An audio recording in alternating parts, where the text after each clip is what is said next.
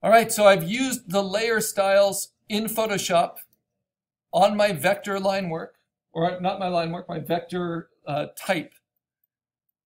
And I've, I've added quite a few. I've added an inner shadow, an inner glow, a satin, which is just a gradient overlay kind of preset, a color overlay, and a gradient overlay.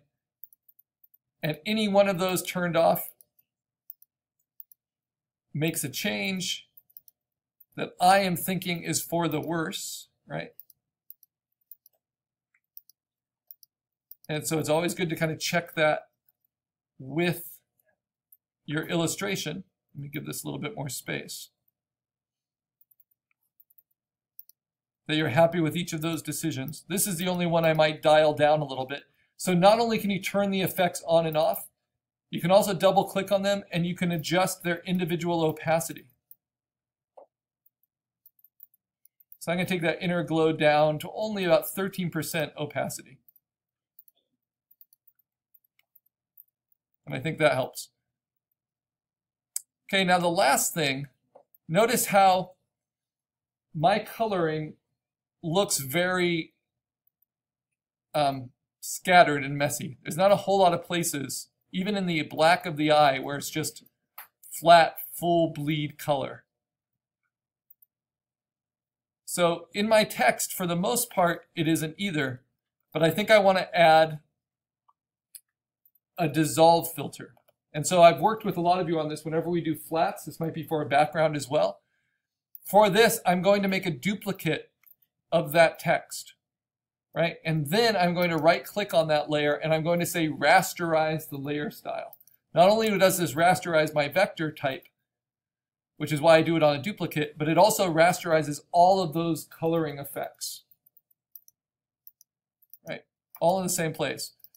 The reason I do that is because now I am going to change its layer mode from normal to dissolve.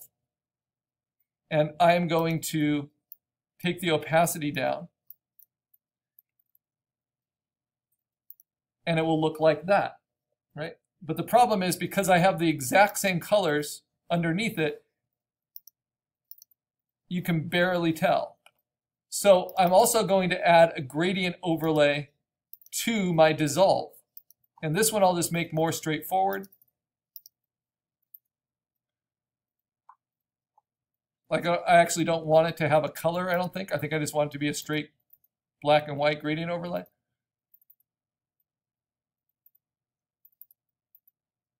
This could work. I can reverse it. I can customize it.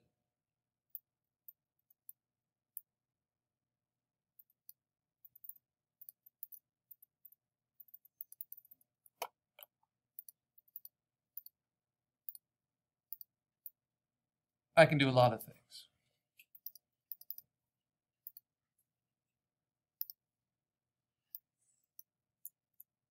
If you hit delete, you can get rid of stops. You can add new ones. You can always edit the color, right?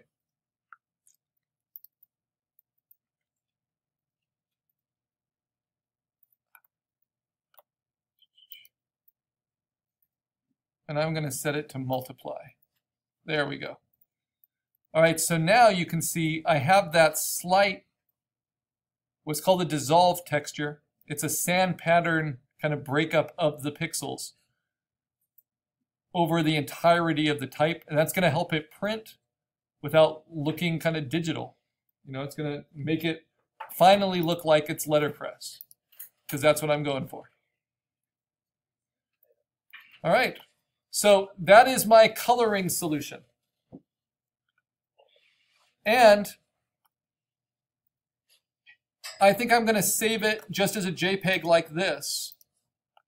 You can choose how you show your black and white type and, and your and your colored type, but I'm going to choose to save my color type like this with the spot illustration on it on just a white background. So there's four things we're going to be submitting for this assignment 8. Our sketch, which is our text blocking, our black you know, type without any layer styles on it, just as a JPEG on a white background. Our color type, and you can do your color type just out on its own on a white background, like you did your black type, but I'm choosing to do it with my illustration because I think that looks better. I'm having to save it at quite a low JPEG to get under 5 megabytes. And then the final thing you're going to submit is your finished poster. So what do I need to add to this to make it a poster? I need to add a background and a border, right? So, so far I've designed everything to look good on white, black, and gray. But just like um, I added an offset to my spot illustration to work on different backgrounds, I might decide to work on the outside of the type to work on a, a colored background. So now I'm going to duplicate my type again.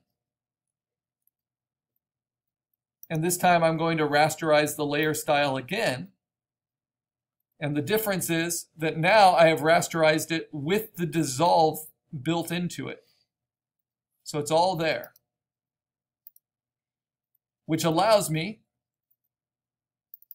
to double click on that and add any kind of stroke I want. I'm just going to do a simple white offset. Set to normal, just so you can see. And then I can simply move that layer behind my other layers. Right?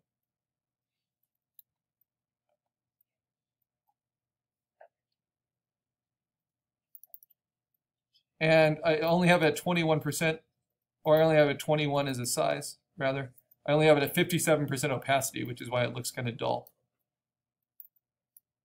Push it up all the way. That's too strong, so I'm going to push it down to maybe 77, something like that.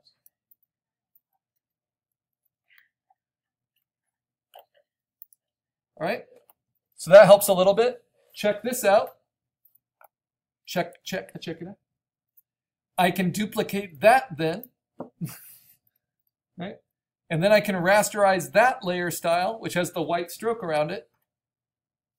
And I can double click and I can add another stroke around that that is a different color, like maybe the purple or this darker tone.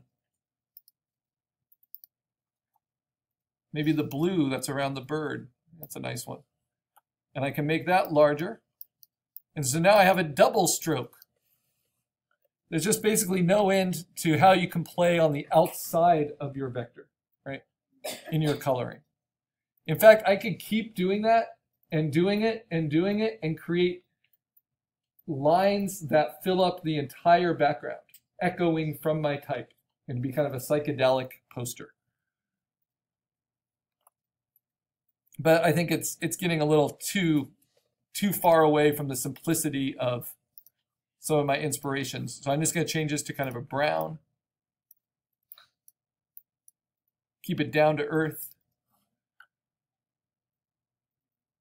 And then I'm going to set it to dissolve again, so it's kind of a broken up edge, even though it's all stemming still from my vector. Right.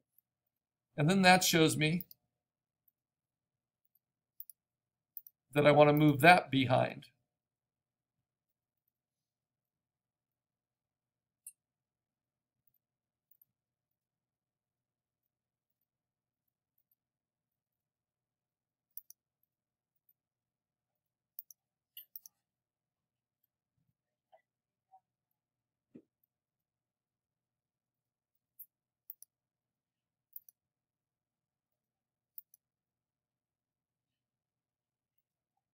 Let's see, where's the one?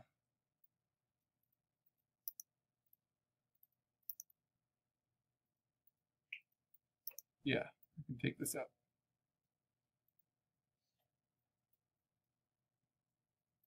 Yeah, so I'm liking this. It's pretty strong. The trouble with using the dissolve is you kind of have to see it up close to actually see what it looks like. So I'm going to take this one way down. Because I want that slight lightening, but not as strong as it was looking. Or maybe I don't.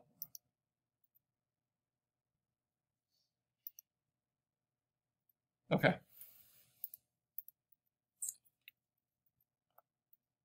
So now I can put in a background. If it works well on black, white, and gray, you're ready for your background. trying to think if there's anything I want to change about it. And yes, there is one thing. So if you remember in compositing, we did dodging and burning. And we were putting our creatures into different landscapes. There are a lot of those different effects we do sometimes.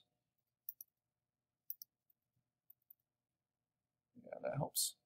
Um, what I can do is on these rasterized type layers, even this one that's only 16%, I can hit them a little bit with dodge and burn to give it that variety. So I'm going to use the burn tool.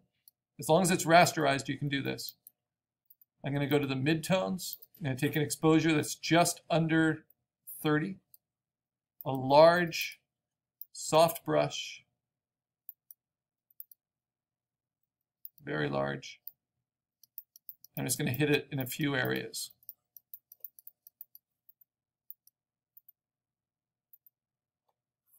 And then I can get more variation by playing up the opacity of it.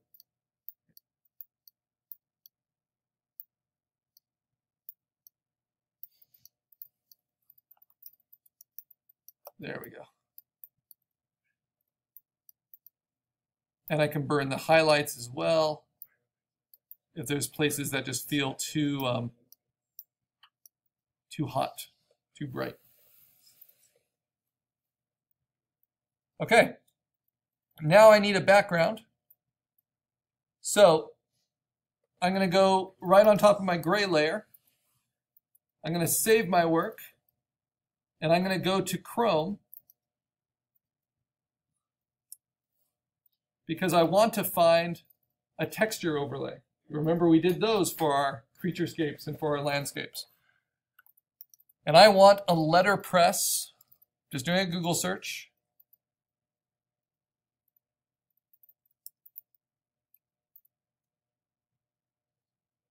Basically, it's kind of a grungy poster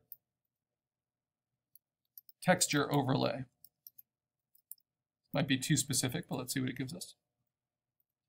And then do go to images.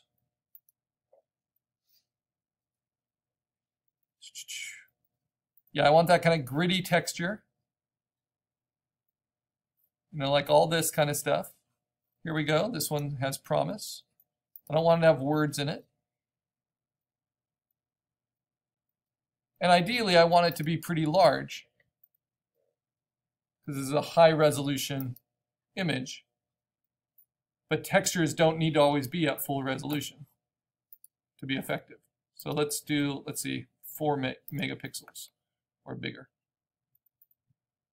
This is a nice one.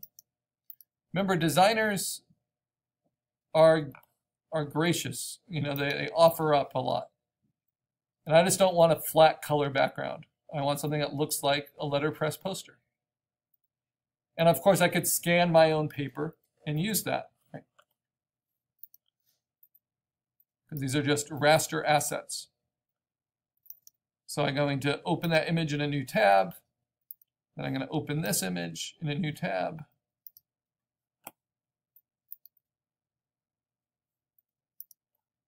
And that's a pretty good resolution. I can use that. And that's that's a decent resolution. I can use that. So if I layer those two and then play with the color, I think I can get the background I want. So what do I do? I bring them in. I'm going to bring in the, the more straightforward color one on top of my gray background. Comes in as a smart layer. I'm going to stretch it all the way to the edges. Then I'm going to bring in the other one, same thing.